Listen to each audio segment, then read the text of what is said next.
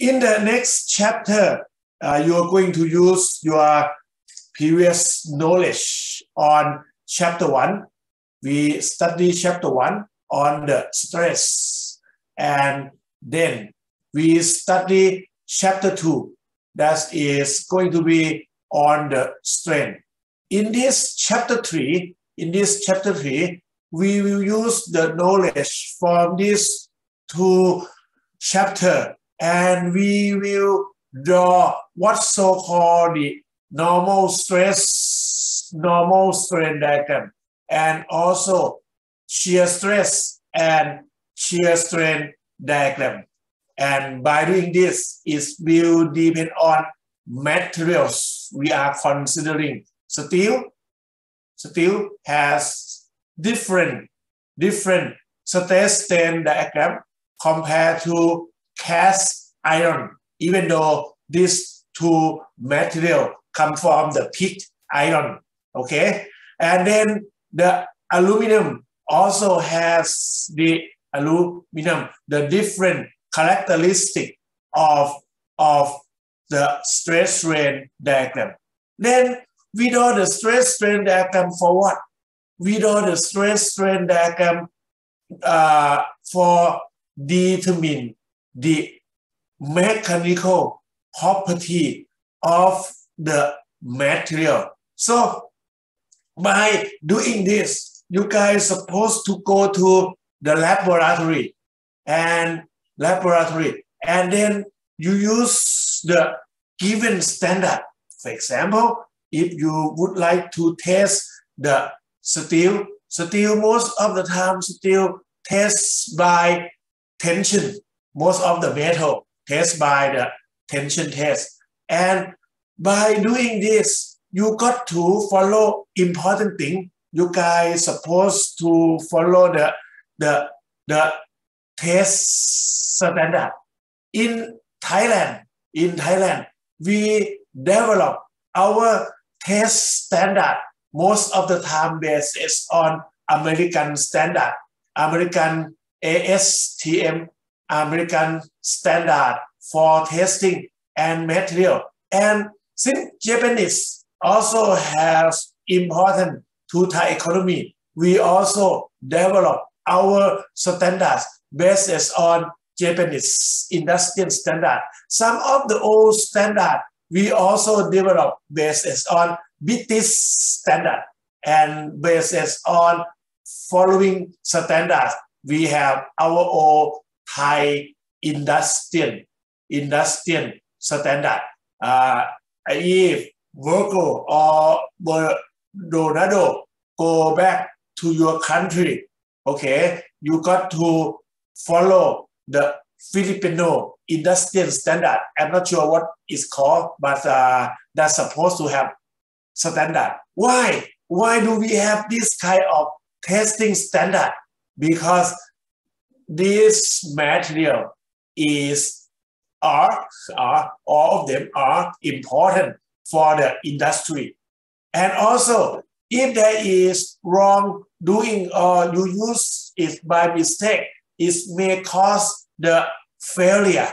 And the failure of the structure made this kind of made by this kind of structure will cause some kind of loss of life or loss of property. That's why every country, every country has their own standard for testing the material.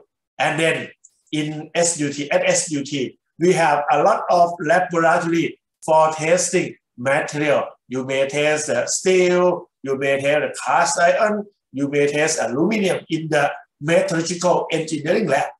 And you may test the concrete in the civil engineering lab, those kind of things. And actually, uh, mechanical engineering student, uh, civil engineering student, industrial engineering student, they share uh, the material testing lab in at SUT. We call it material testing testing lab laboratory. But some kind of lab may be different depending on the discipline of, of you guys. Uh, Okay, based on this, uh, we start our learning objective. Uh, I just introduced to you the first learning objective is to understand the stress strain diagram.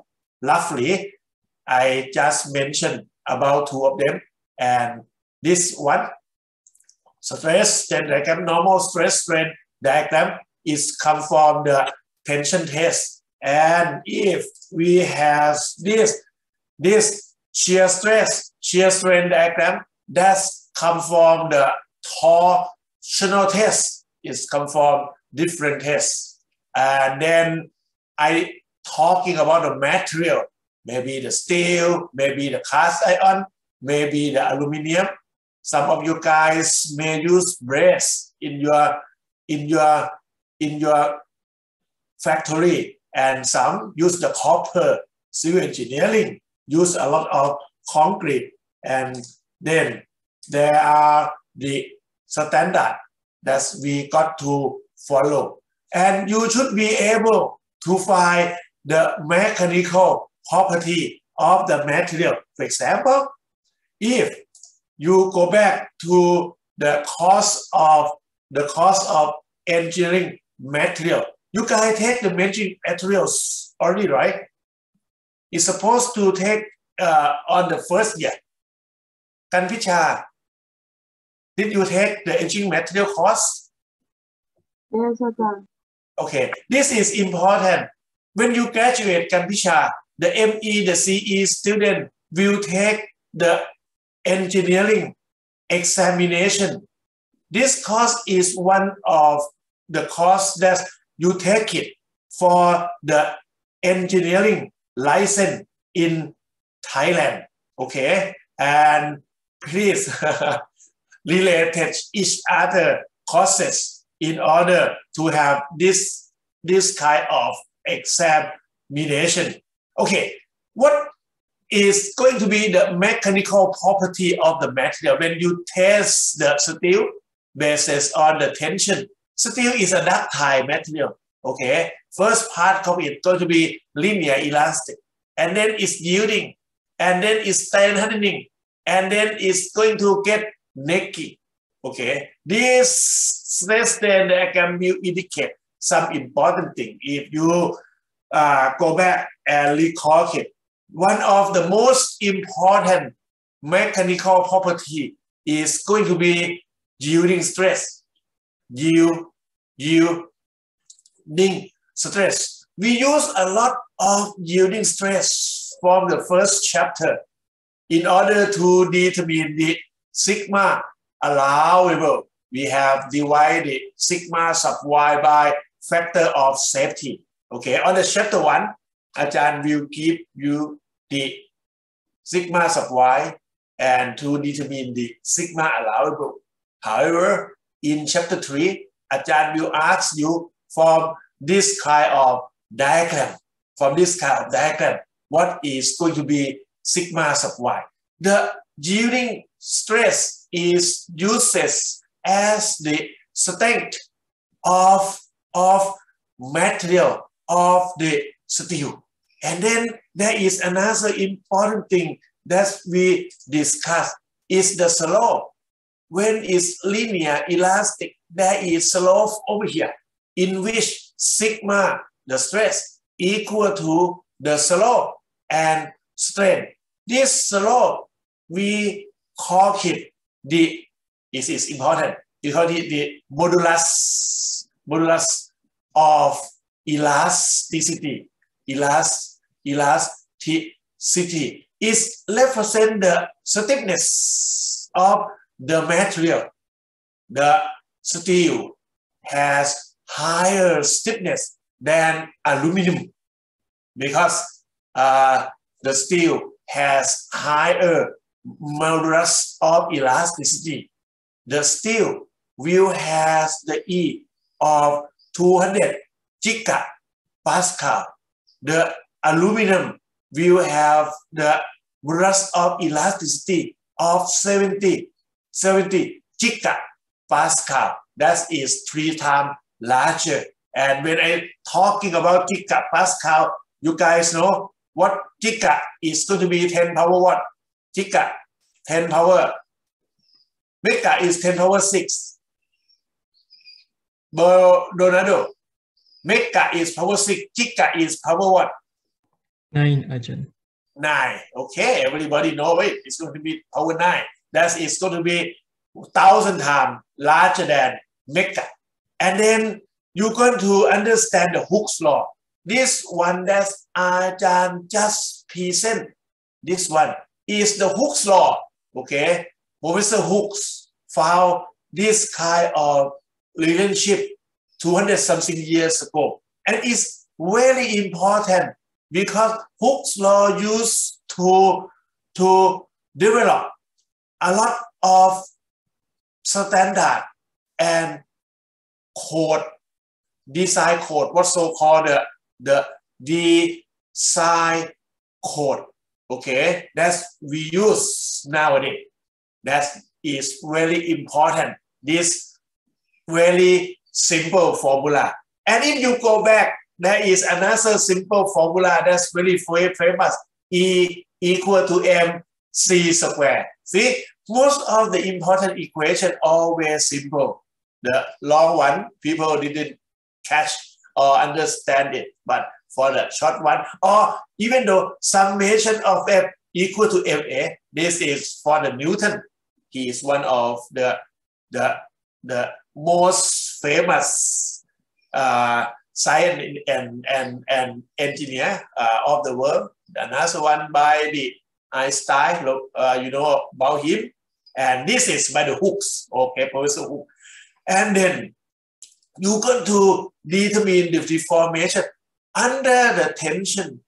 Okay, if you have the rubber band that I used to hook it for you, I lost it already. I don't know where is it. But if you pull this one, you may not see it.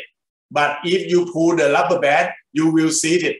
It's going to have some deformation. And when you pull this one, the stress is going to be P over A, internal force. The, over here, the stress over here will be P over A. The strain is going to be the deformation, this portion, and this portion divided by original length.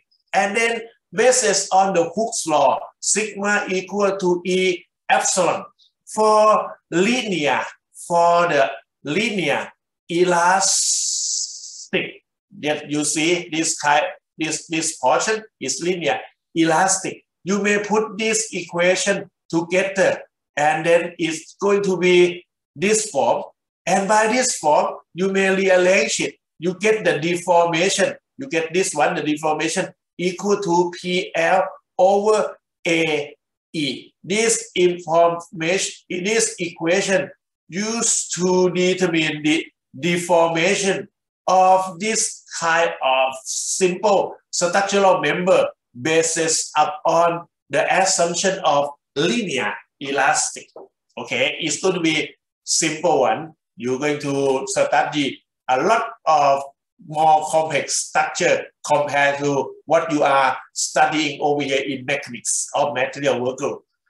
Okay, next one. Uh, this one is not that important, but we didn't much uh, asking you in the examination, but you, it's better for you to understand the failure of the material because the failure of the material will cause the loss of life or will cause a lot of property.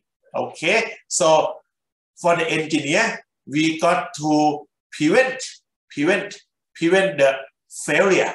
One of the method that we use to prevent the failure you guys have studied already by introducing the factor of safety in order to make the structure safe and prevent the failure. That is this kind of work.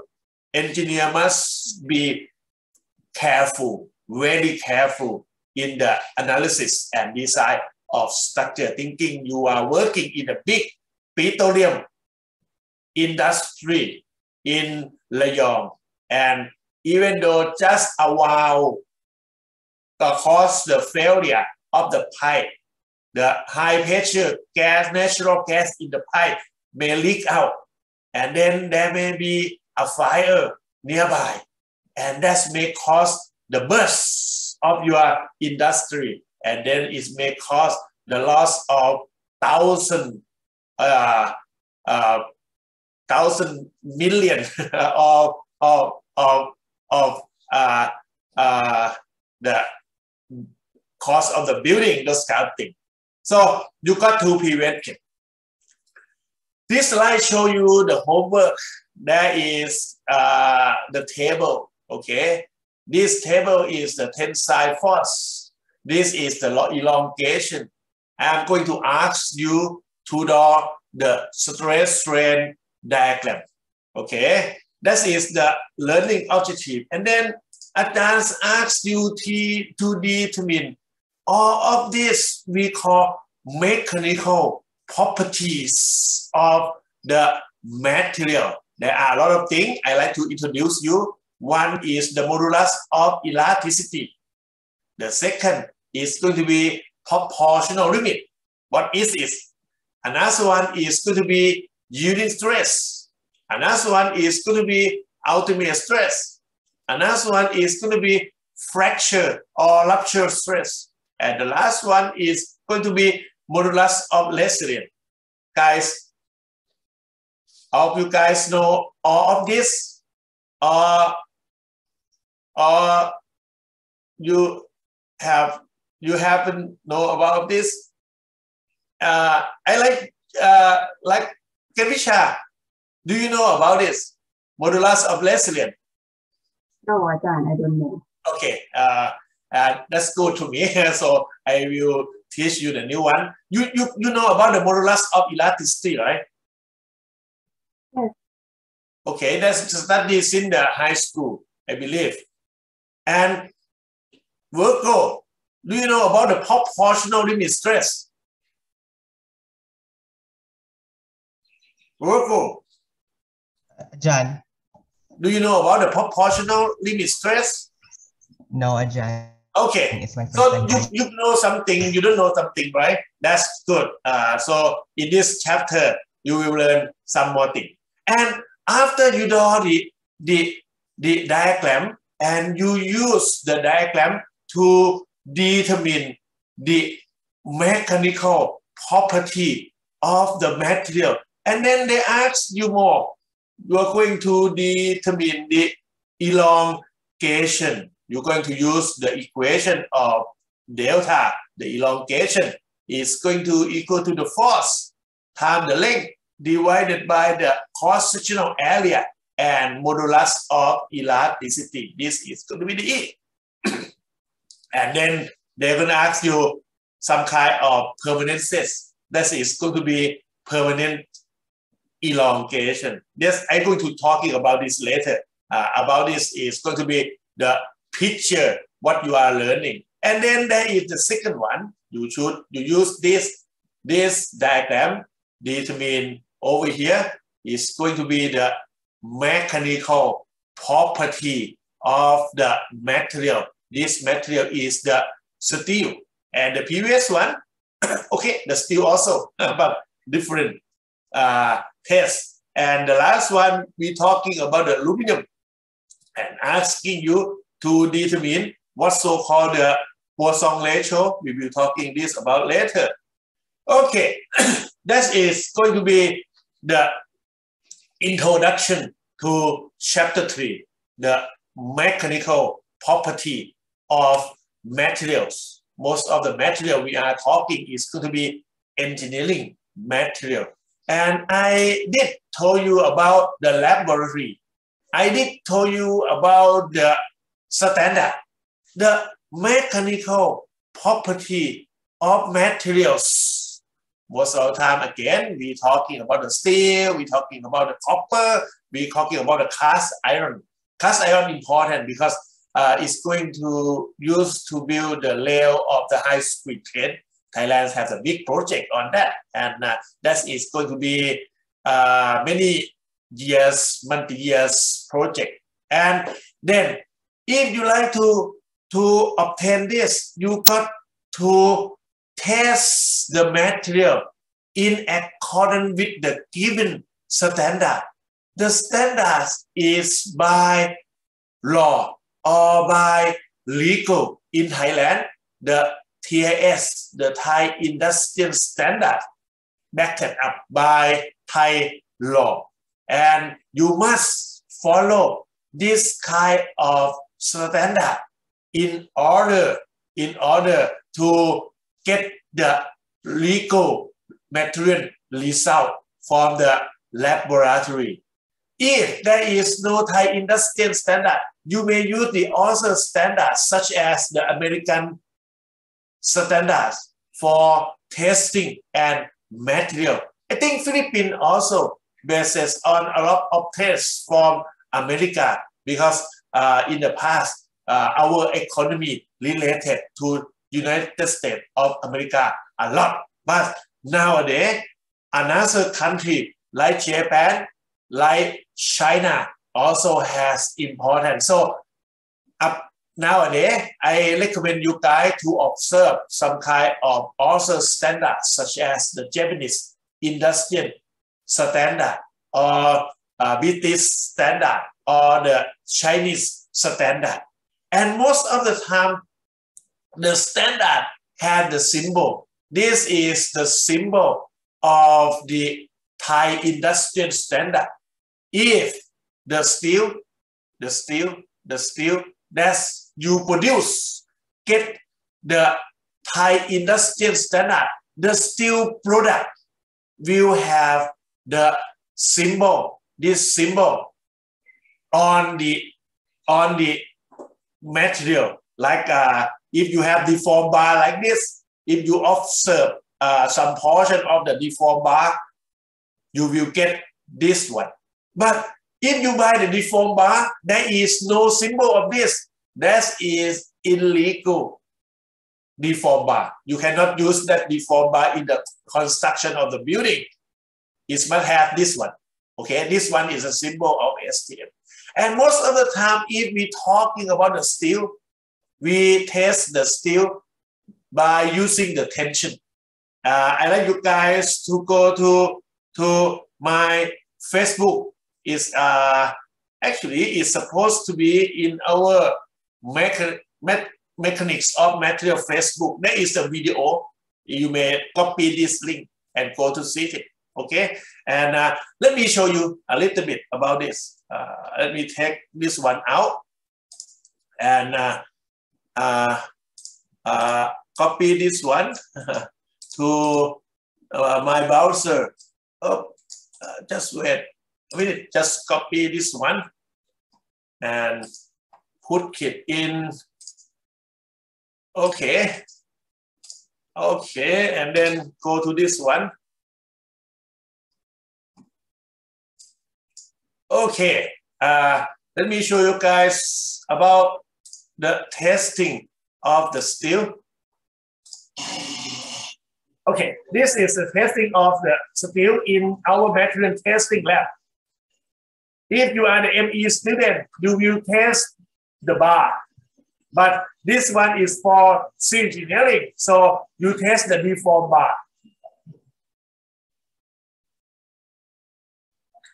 So during the testing of this, the machine what? Oh, it's failed already. This machine will plot the stress strain diagram, and that stress strain diagram will indicate the mechanical property of the steel. Okay, if you see this again, the deformation is very small. The load is very large. We use the load cell to measure the load, the tension force applied to this specimen. And then you use very high sensitive deformation. We call it uh, LVDT to measure. See, you see this one? Yeah. And before before its failure, you will see some large deformation. Large deformation occur near this point. Let's see again. See this one before it's failed Yes, see, is fell here before, it, it's going to have the next kick. Okay, uh, that's uh, going to be the tension test. Uh, I'll show you, and if you prefer, you may go to uh, the, the Facebook and copy the link. So most of the time, the steel may be test in tension, but there is another thing. Why? Why steel usually test in tension there is two reasons. First most of the steel use use to to resist tension. That is the first one. And the second one the second one the mechanical mechanical property of steel are similar similar in tension or compression. So it's more convenient to test the steel in tension. Okay and there is a lot of building made by steel. Nowadays we use cast iron such as in the railway such as the in the rail of the crane or in the uh, instrument some instrument in the mechanical engineering. Most of the time the cast iron is used to resist compression so different material have different kind of uses. And we test the material based on the uses of of the material. Concrete we use concrete a lot to resist the compression in the column those kind of thing or also in the timber we also test the timber in compression. This is the example. We test the wood or timber specimen in compression. Okay, we use the depth gauge. This is depth gauge to measure the deformation. It's going to be the shortening of the timber specimen, but uh, this one is going to be the elongation of the steel specimen. I recommend you guys to go over there to have the good experience at least to to know how to how know what happened when you test the material. Okay, there are a lot of standard tests. This one that's follow the Thailand industrial standard. That's for the lava. This one, this one from the deform bar. This one for hot low, and this one for oh sorry. So it's supposed to have the TS. And then there is another link if you guys like to see the tension test. This is testing by another machine. The machine that we use to test the tension test is usually we use the universal universal uh, UTM testing machine. This machine is a kind of expensive. You may see this machine in the metallurgical engineering laboratory, in the civil and mechanical engineering laboratory, that is the metal testing laboratory, or in the civil engineering laboratory. So by doing this, we have this one. This one is the Instron, Instron universal testing machine. You can find this machine in F6 or if you go to F5 and F4, we also have the universal testing machine. This machine very expensive. When we bought the, this Instron universal testing machine, it cost about 8 million baht. This is special because this machine can test not only static, not only test it in one direction, it can take like a dynamic test. And then when you do the tension test, you put the specimen, okay, into this machine at the clip on the top and on the bottom. And then there is the computer over here, over here to use to measure, measure what? Measure the force and measure the elongation that is the LVDT to measure the elongation over here. And that is the load cell. The cell is over here usually, and used to to measure the force. That means the force is going to be P over here, and the elongation is going to be the delta over here. Before you test the material, you got to measure. You got to measure what? You got to measure the diameter of the specimen, and then you compute the area by pi d sub o square divided by 4. And also over here, you got to attach the LVDT over here and measure the original length. Okay, so this one known, known, known, and this one also known. The P and the delta will be very, very based on the test. Okay, and then by putting this one, this one, this one is special kind of LVDT. We call it X tensometer. Okay, it's kind of LVDT. Ah, okay, and then you have this one as the L O. So you measure two things. You measure the diameter and compute for the original cross-sectional area. And then you also measure the, the original length. And the failure must occur inside this L sub O. Okay? And then when you measure, you measure the load. Okay, the P, you measure the elongation. So when you increase the load from zero, the deformation will be increased when you test this increase large load. You're going to get large deformation. And when you test the, to the failure of the material you will see in this test the loads just get higher and higher and reach the maximum over here and then reduce and then it's fail. This is called the failure load.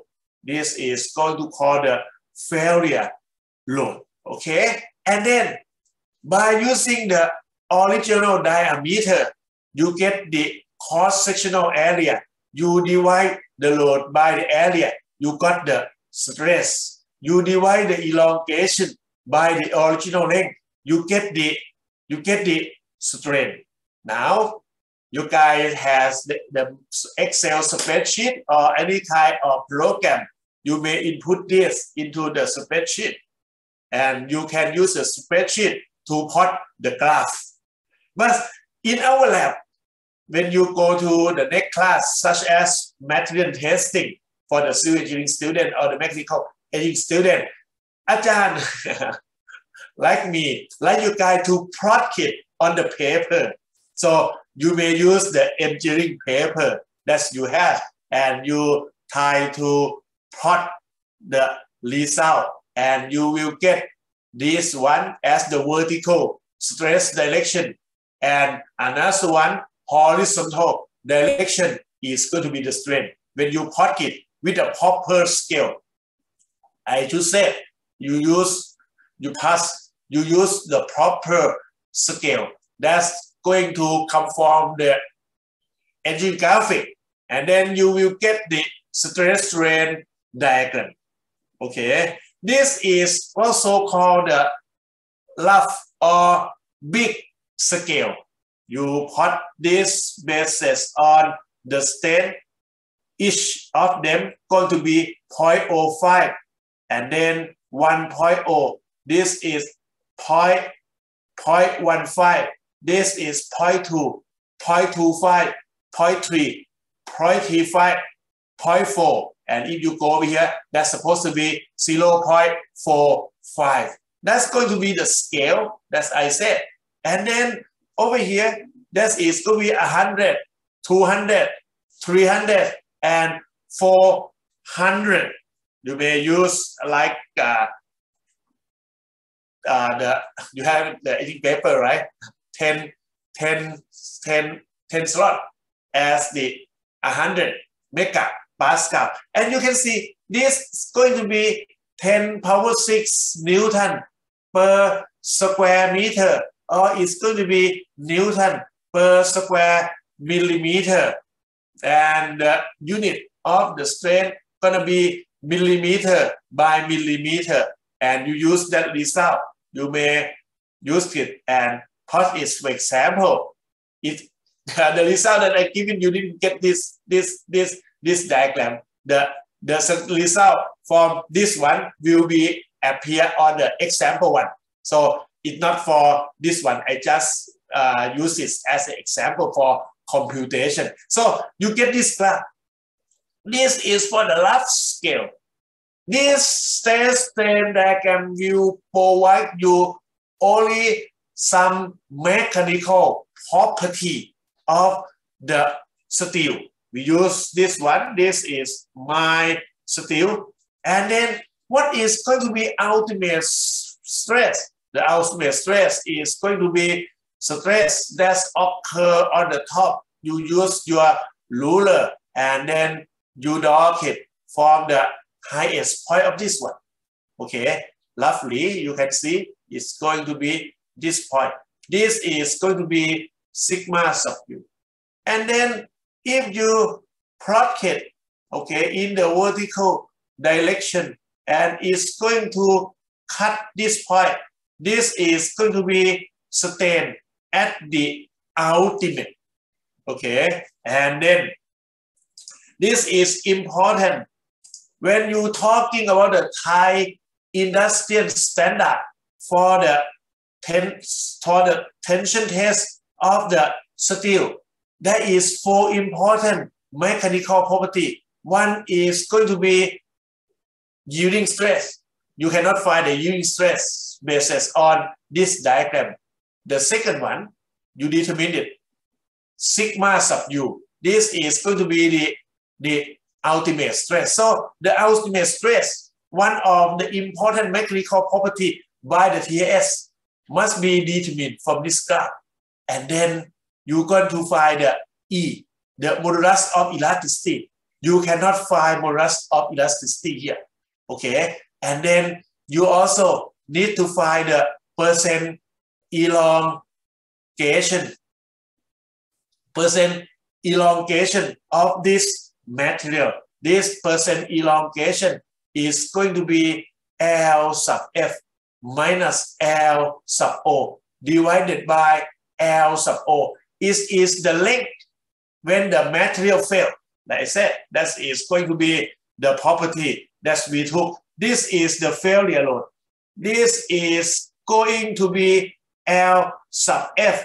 Is going to be the failure length. Okay, and this failure length is going to minus by L sub O used to determine this volume. So this one, we may determine the L sub F. That's going to be the last test one that's occur over here. The L sub F used to determine what? Determine the strain as failure. Okay, the strain as failure will be L sub F minus minus uh, L sub O and divided by L sub O. So there's uh, going to be the percent elongation also very close to, but this one didn't time the 100. For this one, you got to time 100. Okay? And this one going to be sustained at failure for this one. And then for the stress, you may plot the stress for this one, and then you get this one for sigma sub f.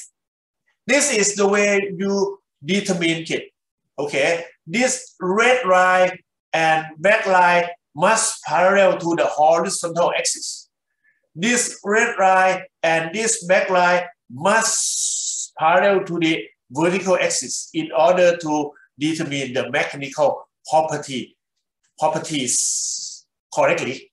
And then, since the first portion of the graph is so close to the vertical axis, so many times we supposed to draw another stress strain diagram for this portion. Okay, so to make it clearer, you use another scale. Based on this, we use this new scale that is going to be a hundred times. It's going to be a hundred times scale up. Okay, we have now scale up to make this portion clearer. And then you use the same data, but you scale it by the new strength. 100 times scale up, and then you get this graph. This graph we call it the fine scale. Okay, and then this one use determine what I'm asked Virgo. What is going to be the proportional limit?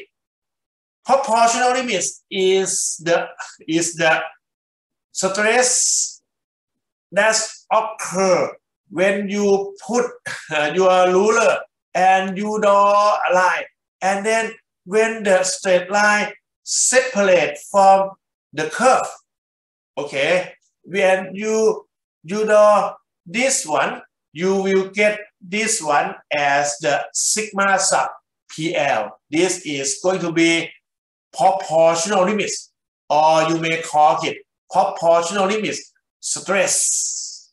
Okay, and then if you project it down, if you project it down, you're going to get this one, and what you get over here is going to be proportional strain.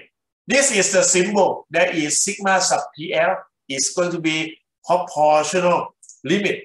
And this one is sigma sub U that we have uh, ultimate stress. And this one, epsilon sub U. And we have another symbol that's going to introduce to you here. This is going to be sigma sub F.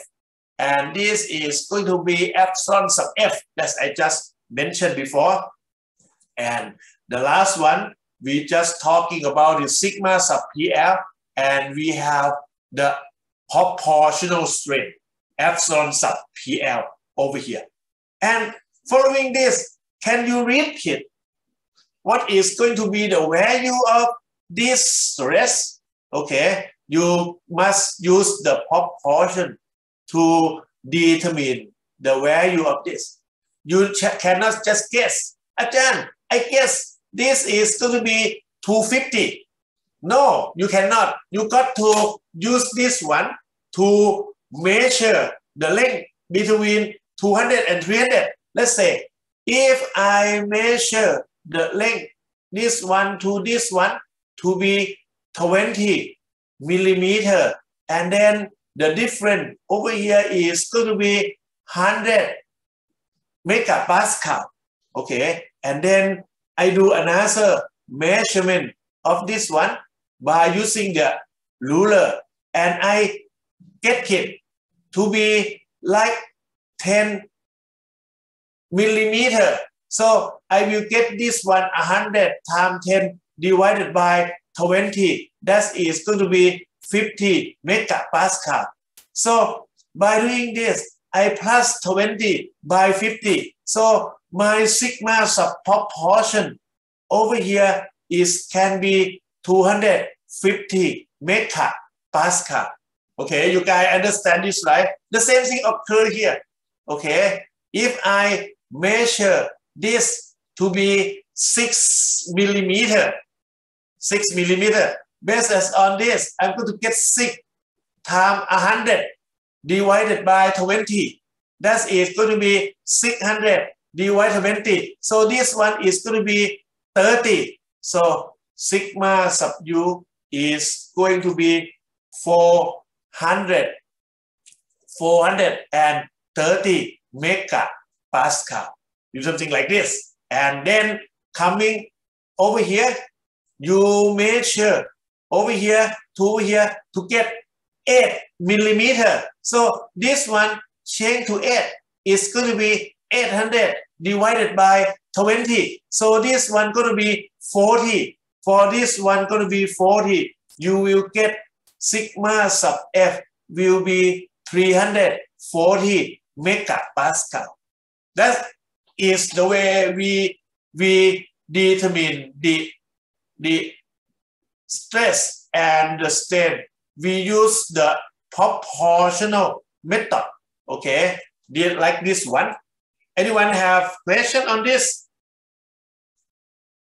Uh, anyone?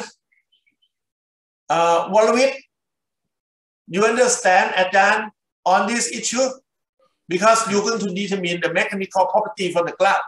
Walowit, ครับผมวรวิทย์ครับผม กันพิชา กันพิชา can you catch me Yes, อาจารย์ yes. okay yes okay you can do the proportion right uh Keng Lee Keng Lee Te are you here Yes, Ajahn. Uh, okay you, Hello. you know how to find the stresses from the graph right by proportion Yes, yes, Ajahn. Okay, if you catch me, the same way occur over here. If you said you use this one for 15 millimeter, this one to this one is 15 millimeter. For what? For, let me scale it. Uh, we are going to use uh, this scale to determine uh, proportional strength. So if you measure this 15, this one is another 15, that is going to be 30 millimeter. That's 30 millimeter is going to be 0.001. Okay.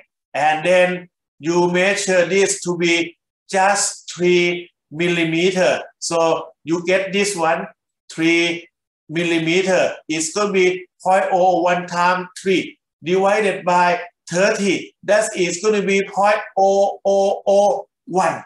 Okay, so the value of this, the value of this is going to be only 0.0011. It's going to be something like this. Okay, now I should go a little bit further to the next one of the yielding stress. The yielding stress is important because the yielding stress specified by the Thai industrial standard. However, the yielding stress has two value. One is going to be this one. This one going to be upper yielding stress. And another one is going to be here. This is going to be lower yielding stress. So if you prefer, the lower yielding stress will be very close to proportional stress. And this one going to be the upper yielding stress. That is going to be a little bit larger than the lower yielding stress. In practice, you can see the upper reach only one point, but the lower go along with the yielding region. So most of the time we use the lower yielding stress represent the yielding stress of, of the steel. Okay, we use the lower yielding stress. So based on this, we may call it the yielding stress is 250 megapascal. Sigma sub y may be 250 megapascal by this kind of calculation. And then what is going to be yielding strength? The yielding strength will be at the same point. it's supposed to be, not this one, it's supposed to start, start at this point. Okay, let me project it like this. So by doing this, if we use this one as the epsilon of y, so this one is going to be half of this one is going to be 0.0015. So you got this one as the yield strength. And this one is the yielding stress. Next, what is going to be the modulus of elasticity? This is going to be the E. The E represent the stiffness. Okay, the E going to be represent the stiffness of the material. The stiffness is going to be what? That is two words. That's Ajahn told you. One is the stiffness. One is the strength. Okay. Strength is the ability, ability of material to resist, to resist the force without failure, to the force without failure. That is going to be a simple definition of strength. Okay, such as this one, as I explained to you guys before, we use sigma sub y as the strength of the steel. Again, why don't we use sigma sub u? Because it's highest.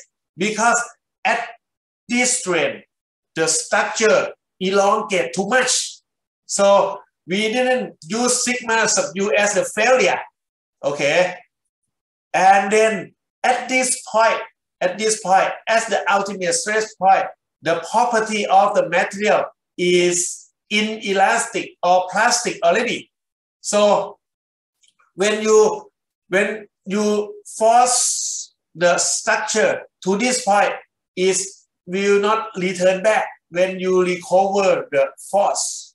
However, at this point, okay, proportional stress or yielding stress, at this point, when you stress over here, even though stress over here, the structure will return, will return in this region. So most of the time we talking about the structure, we like it to be to be linear, elastic. Okay, when it's change the shape, it's supposed to return back after recover the force or of the building or of the car vehicle, aircraft, uh, marine structure, uh, submarine, uh, big boat, those kind of things. When you design it, it has this kind of linear elastic behavior.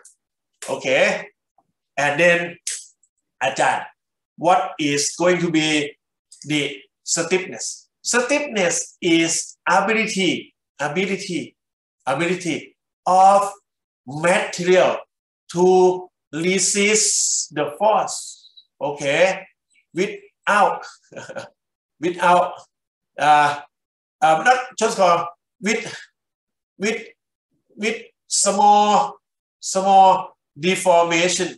Okay, the the material that has small deformation is going to have uh, its ability of the material to resist, to resist, to, to resist the deformation, let's say, just to resist the deformation, ability of material to, to, to resist, to resist the deformation large stiffness, small deformation. Okay, and how can we determine the modulus of elasticity if this one is going to be determined by any portion of the linear of the diagram. This is going to be delta sub sigma. This is going to be delta sub epsilon because but lot of elasticity talking about the linear elastic portion. So sigma equal to E epsilon. So E is going to be sigma divided by epsilon. Okay, stress divided by strain. So you may use this one if you prefer. If we may use this one, it's going to be sigma sub proportion. That is going to be 250 megapascal and then divided by this one, divided by 0 0.0011, okay?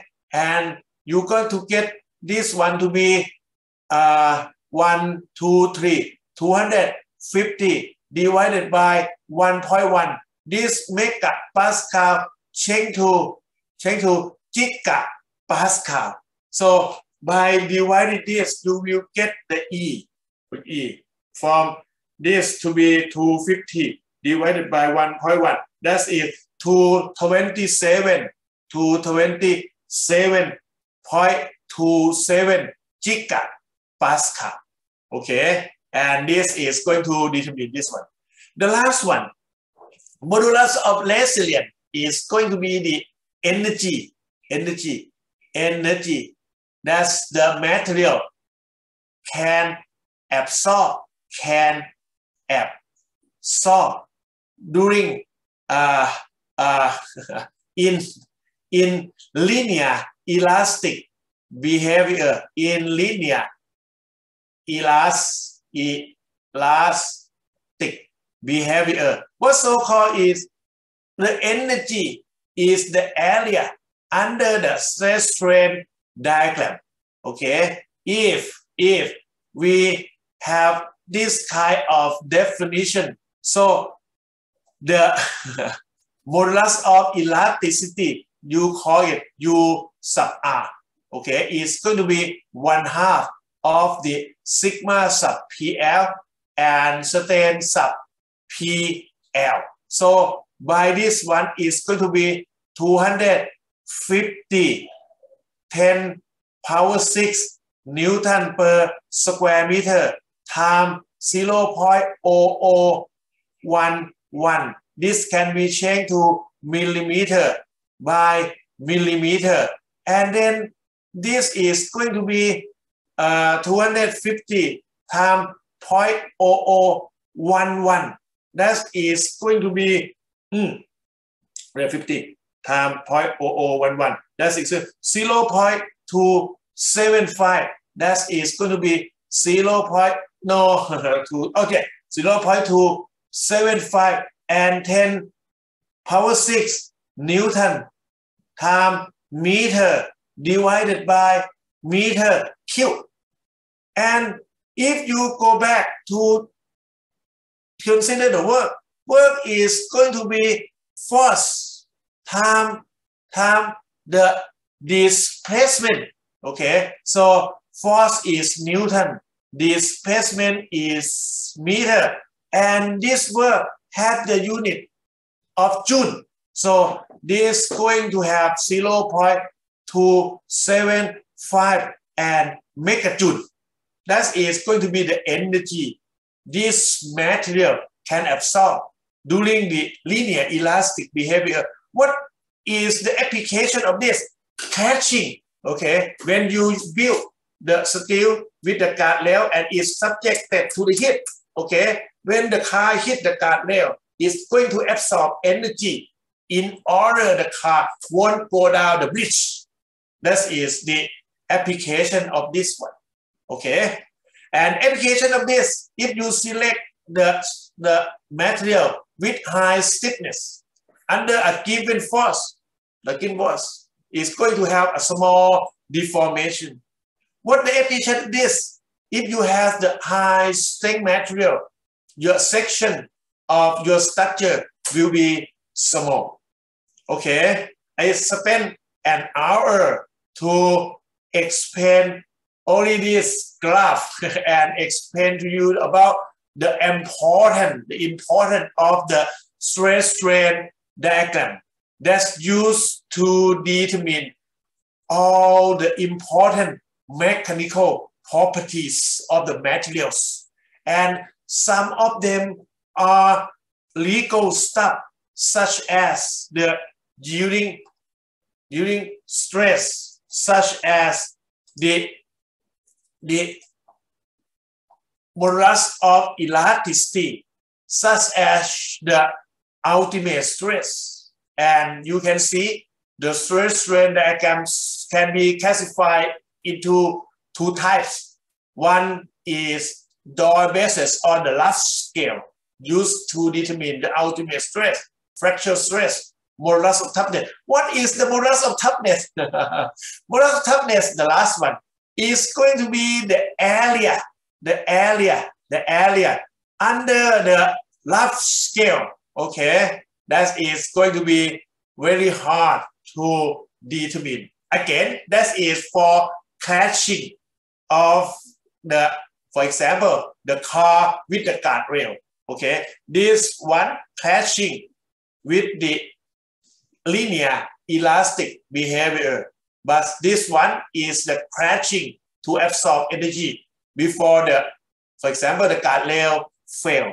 Okay, you got to determine the area of this whole complex graph. Okay, and I also mentioned important thing when you got the engine license. Okay, you are an engineer. You respond for some legal stuff.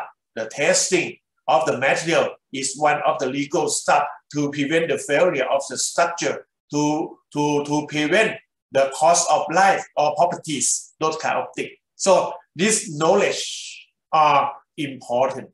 And usually for written examination, we're going to have one big problem for this one, and it's related to stress from chapter one and the strain from the chapter two.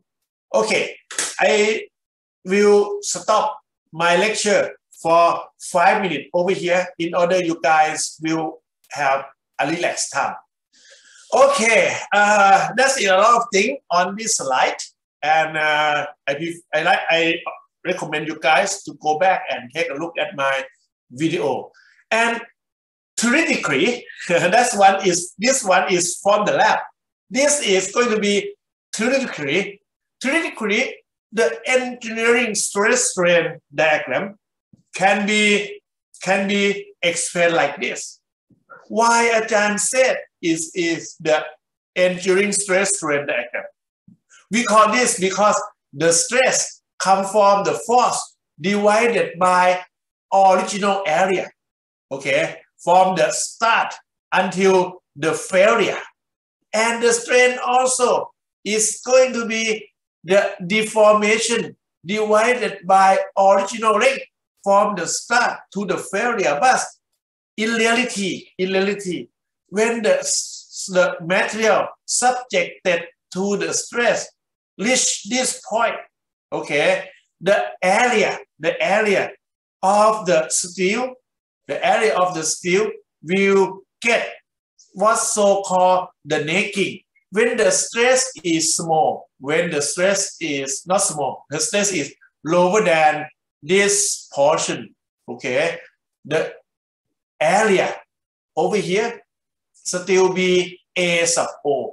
But when the stage is large, when say is large, there is a small, not, there is the deformation occur, okay? Sometimes the area gets smaller to the actual A, but it's hard to measure the area every time.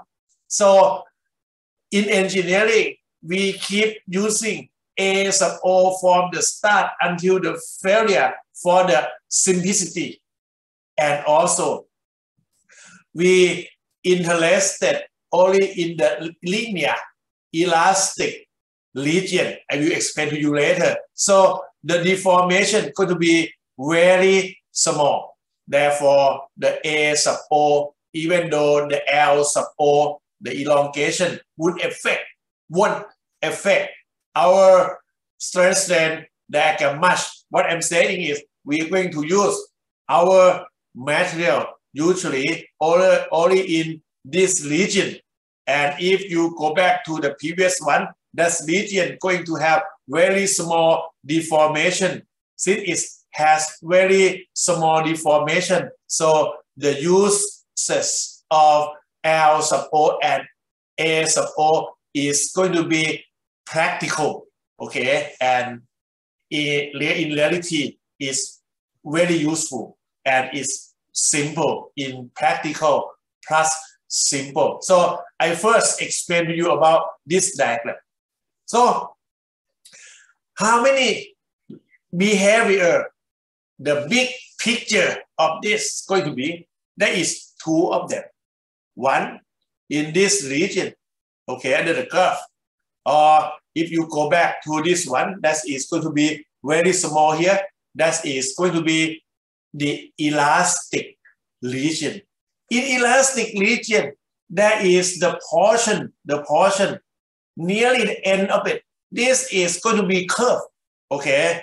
So elastic region can be linear elastic and another small one is curved elastic.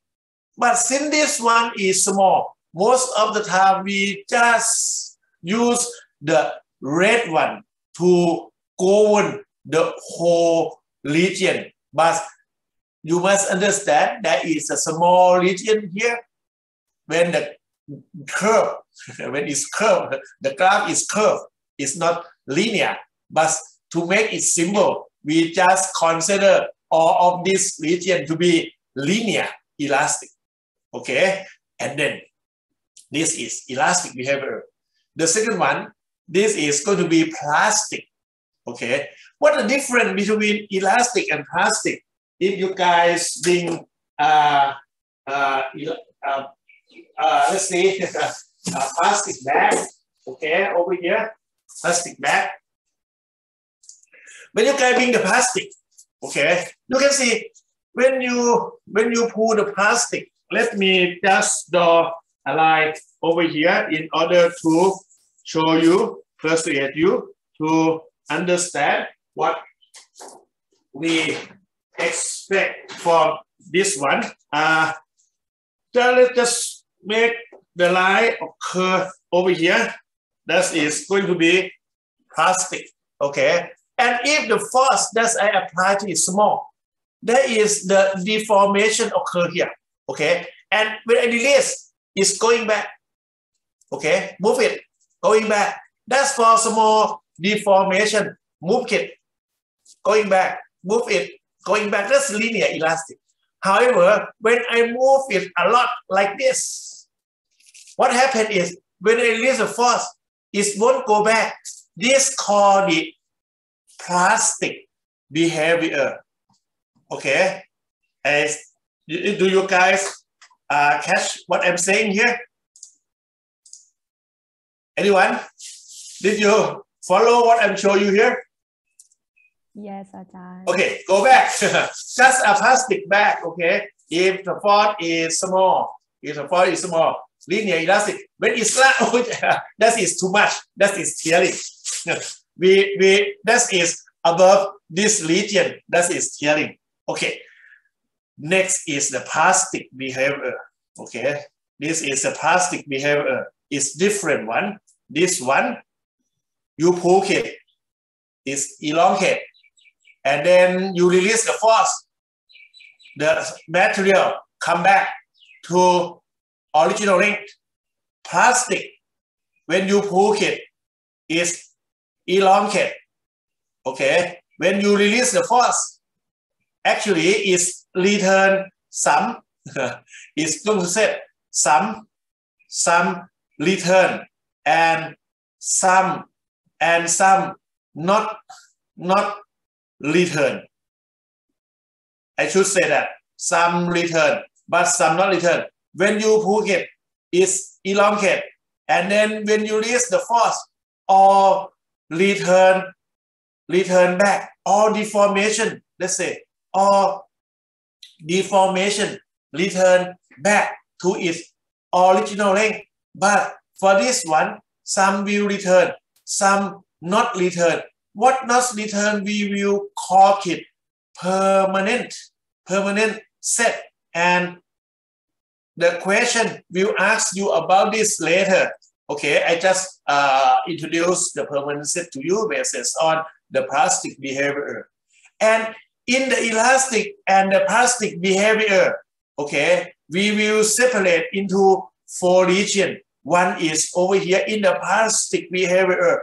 We have elastic region, okay. In the elastic region, in the elastic region, we have two portions. One is the curve elastic. Another one is going to be linear elastic. Okay, let me pull this one over here elastic region. And since the curve elastic is so small, So most of the time we consider them to be only elastic region and consider it linear. And when you reach this point, okay, this point, there is a point in the elastic region when the stress proportional to the strain.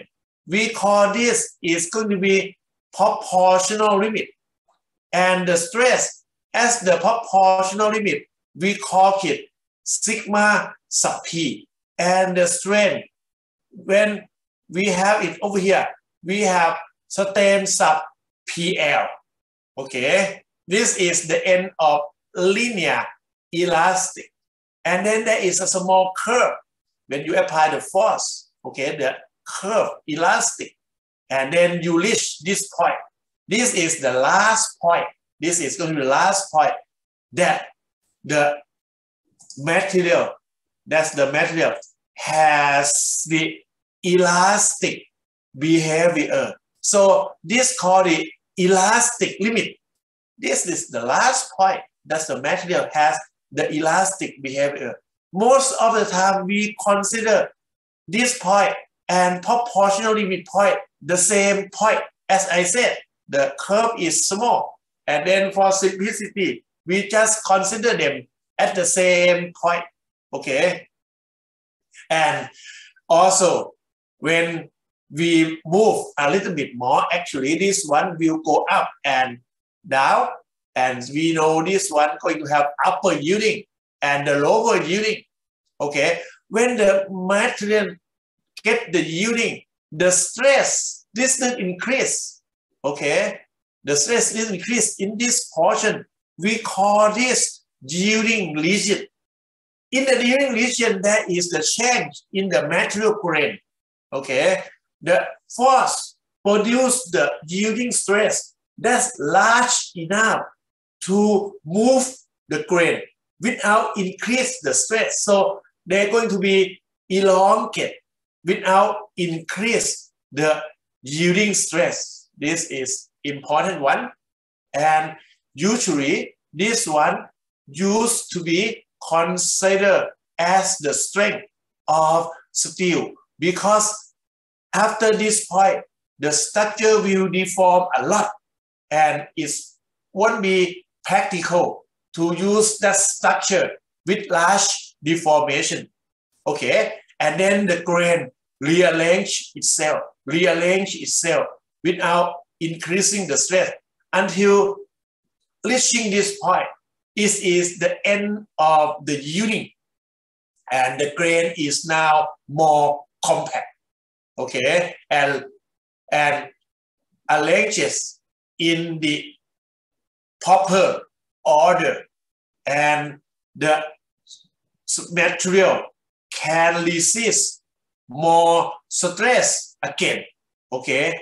And this is going to increase the stress until it's reach this point okay? This portion is called strain hardening okay? After the specimen, the material has this deformation or has the strength until it get compact, okay, and then it can more force, more stress. This called strain hardening until it reach this point. We call this is going to be the ultimate, okay. The stress over here is ultimate stress the strain over here is our ultimate strain.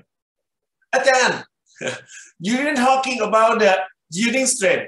Usually, the yielding strain is defined as the strain at the end of yielding region.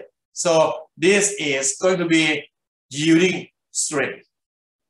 And then the strain hardening, hardening region. That is the region when the specimen start to have the necking, okay, passing this. This one is going to be the strain hardening, has large lateral deformation, but after passing it, there is a point, okay, occur on the specimen that has the necking behavior. The site will reduce a lot, but over here the site also reduce, but not that a lot, due to this one, due to the Poisson ratio, due to those kind of things, the and the necking is not that correct. But if you measure the A over here, you will plot the true, true stress strain diagram. But usually they are not much different like this, very small different, okay, due to this lateral deformation. This has the lateral deformation. And this cause the necking, okay? I will show the picture of necking later. Necking, the area over here will reduce a lot. That's why if you use the A sub O to compute the stress, okay, the graph will drop. There is two reasons. One, you use the A sub O compute the stress. Second, the area over here is small, so can resist small force. That's why when I tell you about this table, you get the drop of the force, this reach the ultimate, and then since the necking, since the necking, the load drop, and then you still use the A sub O to compute it. That's that's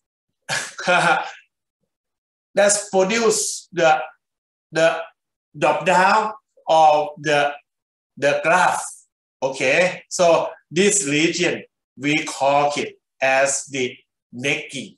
Okay, this is going to call the necking region, and this necking region can be seen clearly by this necking. And finally, there is the fracture occur here. This is going to be sigma sub f, and this is going to be stated as the fracture.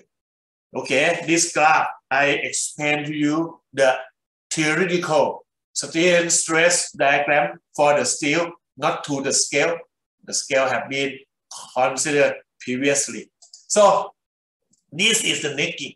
You can see from the this area that's far from the edging. This is supposed to be the original area, very close to, if not the A sub O. But if you consider the necking area, this is going to, to be small. The necking, necking is a kind of causing by the sliding of steel grain. Okay, steel grain keep sliding. And then this has about, when it's fell, this have about 45 degree when it has the failure, okay, the cut will be something like this. And this is causes by shear stress.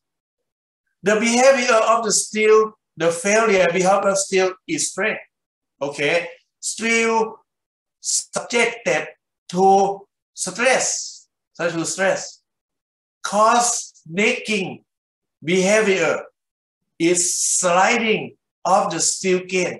That is causing by the by the shear stress. So the failure of the steel is due to shear stress. Let me say that the failure of steel, steel is due to shear stress. Okay, and then finally it's separated into two pieces. And by doing this again, come to the graph. I just explained to you how to determine the mechanical property do determine mechanical properties of this one of my steel of my steel do the same way that I this show you from the previous slide. I didn't get to 40. The previous one, I get to 250 is okay. This is going to be the proportional stress. The last point, that's the stress proportional to the strain. So you can determine it by putting the, the ruler along the line and then just draw the line. When the curve separate, the curve separate from the line, we call this one is the proportional limit. And then if you project it down, okay, down, you will get this one as the proportional strain. Okay? And then this portion, that's called the portion that's go to the elastic limit. Actually, the elastic limit is connected to the upper upper yielding. Okay, you got this one, the number you can determine it by proportional method. Okay, and also you have the lower yielding. And again, let me say we're going to use this this lower yielding stress to represent the strength of the material. And you can see from this real graph, the value of these three points, they are not much different. Okay, maybe about just plus minus 10%, less than, less than, okay? And then we use this one to represent it. Okay, and if you go a little bit further, you got to go to this one. This one is the sigma ultimate. That's the highest stress the material can can can take. And then if you drop it over here, that is going to be strain as the ultimate. And then also, uh, I forgot this one is going to be strain at the yielding. Okay, strain at the yielding occur at the end of the yielding region. And the last one is the fracture stress. And then when you drop down here, it's going to be fracture strain. So that is going to be the value of the yielding strength 0.03 based on the last scale. This is going to be the strength at the proportional limit based on the fine scale. And you can see how much they are different. That's quite a lot. Okay, if you put the number 1, 2, 3, 4, 1, 2, 3, 4, this is a kind of scale of 300. This is a kind of 12. That is more than 20 times different. So that's why they use the yielding at this point, at the strength of material, because after that, the structure will deform a lot before, before it reach the end of the yielding. That's why the reason that's important to understand. Okay, strain at the end of yielding is constantly larger than strain at the beginning. Okay, about uh, if you use point, point 0.15 for this one, that is 20 times. But if partial limit is 20 plus time, the design code specify the yielding stress is the strength of the steel. Sent beyond this stress, the steel is deformed significantly and the structure cannot function as desired. That's the reason why. And then I told you guys this is going to be the failure of the steel. This is the failure of the cast iron. They are different. The steel fail subjected to the stress. And then there is the sliding, sliding of grain of grain is felt by shear stress. Okay, this kind of failure has large deformation.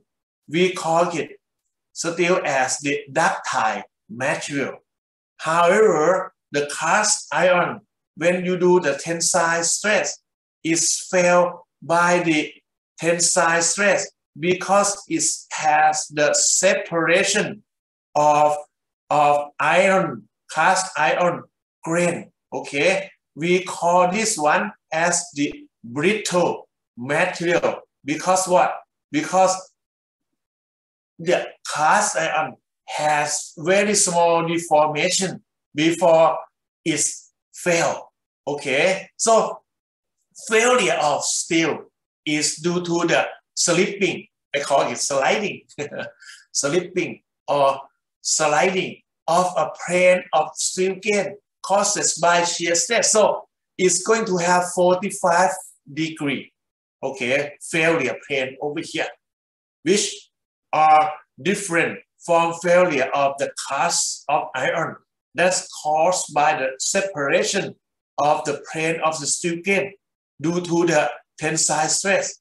And the failure plane is approximately 90 degree, okay, with the axis, okay. This is 45 degree with the axis. This is going to be 90 degree. These two materials are different. This steel called ductile material, cast iron called brittle material. That is a good thing of cast iron, even though it has the brittle failure.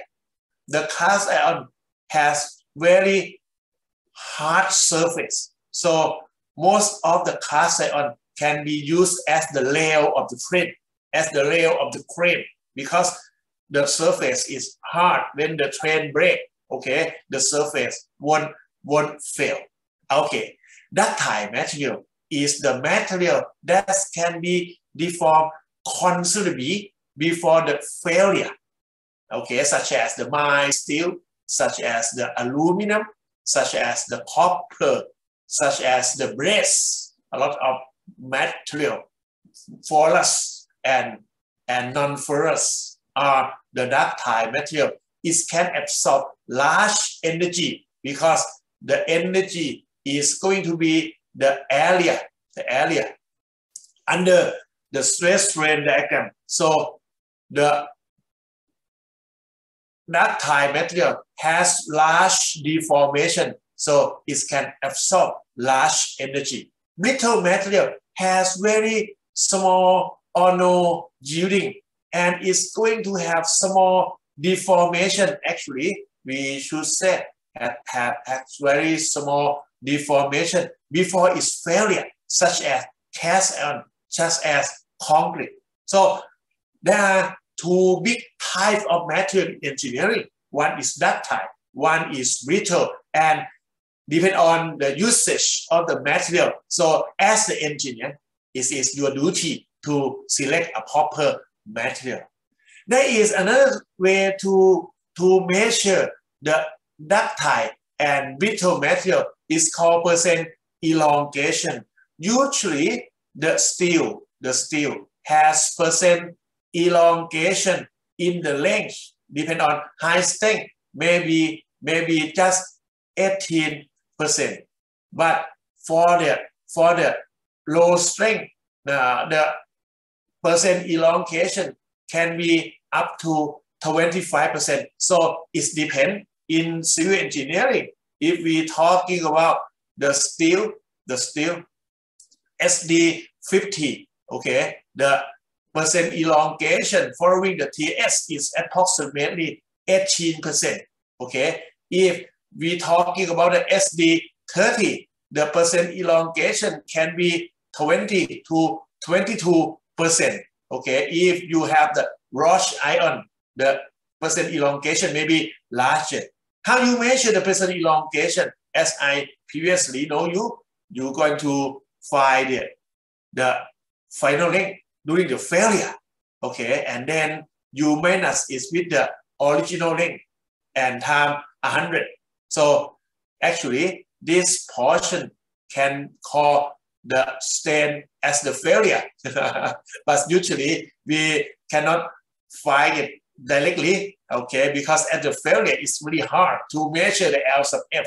But we can measure the L sub F after the crack of the material. And then there is another one. This is not popular, but it's also been used by ASTM. It's called the percent reduction of the area.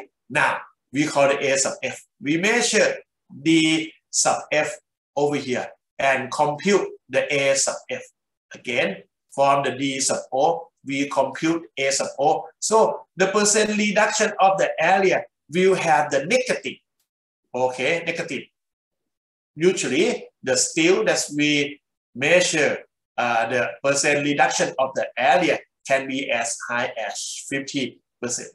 Okay, but the Thai industrial standard use the percent elongation. There is the non-ferrous material.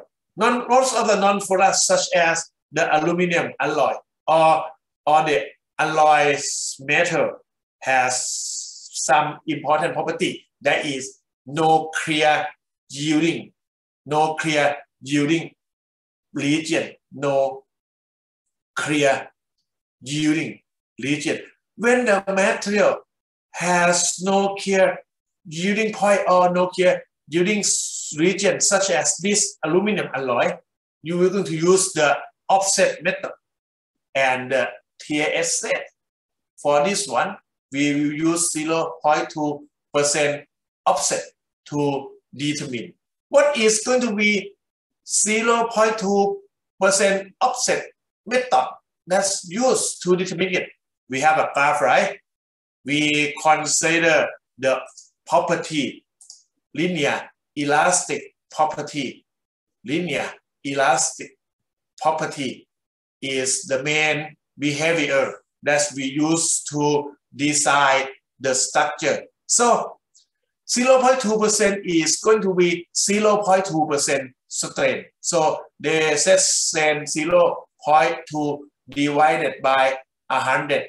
That means we're going to use 0.002 millimeter by millimeter as the reference. So this is 1, 2, 3, 4, 5, 6, 7, 8, 9, 10. So it's going to be this point.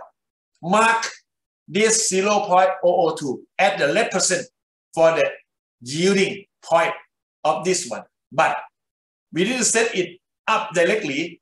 We're going to draw the line parallel to the first portion of 0.02, first order of the diagram, of the graph of the diagram. So draw the that's parallel to each other. And then when it hit this point, okay, you draw the horizontal line, and then you get this one as the yielding stress basis on 0.2% offset. Again, this is the TAS standard method used to find the yield of metal that has unclear yielding point, not only aluminum, the high strength steel also. And there is different kind of stress strain diagram. Stress strain diagram is kind of a fingerprint. Okay, the steel has different kind of stress diagram compared to the compared to, the cast iron and different from aluminum. Each of them have their own behavior. Come to the gray cast iron. Gray cast iron is special. Okay, it's felt by separation if it's subjected to tension It's felt by separation of the plane of grain. Okay, because of what? Because the cast iron has high, I have a G, high percent of carbon. We put the carbon to improve the the the harden the harden of the surface to produce the rail of the train. So when the wheel of the train break, the surface between these two won't fail. We we harden, okay, the surface of the material. This material has high, high has high harden of the surface. And then when you use it as the railway. You can see the application of this one there is the force from the train that presses on this material. So most of the time the cast iron subjected to the compression. And then when it's subject to the compression, things are different. The specimen this time will compress. When it's tension, the grain over here will open. Okay, that is micro crack between the steel and the carbon. The micro crack will open very quick. So the failure of this iron in the tension is only 152 megapascal. However, when you when you compress this, the micro crack just close to each other. Okay, when micro crack just close to each other, and there is the Poisson effect. There is a Poisson effect. That means uh, under this behavior, actually, is will have some shortening and expansion, lateral expansion on the side. So the area also getting a little bit larger. So doing that, the cast iron can resist the compression significantly high, like this one.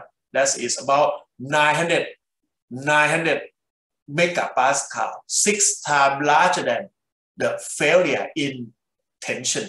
Okay, in tension, that is brittle failure. The, the cast iron is a brittle material.